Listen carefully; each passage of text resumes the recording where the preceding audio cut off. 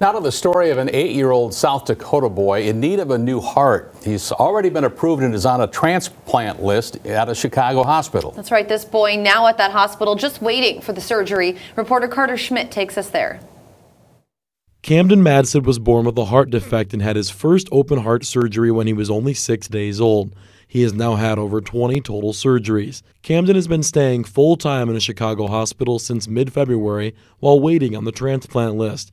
He had another surgery last week. To get a VAD, which is like a vent- ventricle assist device, um, to, to kind of bridge his heart until he gets a transplant that went well. He says he's feeling the best he's ever felt. Stacy says there's a new technology for the VAD and that Camden was the first kid in Illinois to get it. They're waiting until they get 40 kids and then it'll be FDA approved.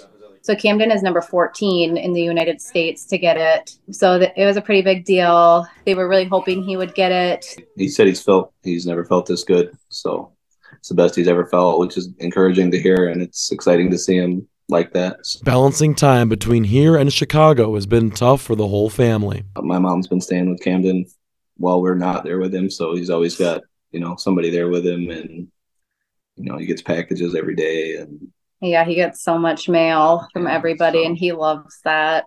Um, and he FaceTimes us all the time um, just to see what we're up to and tell us what he's doing.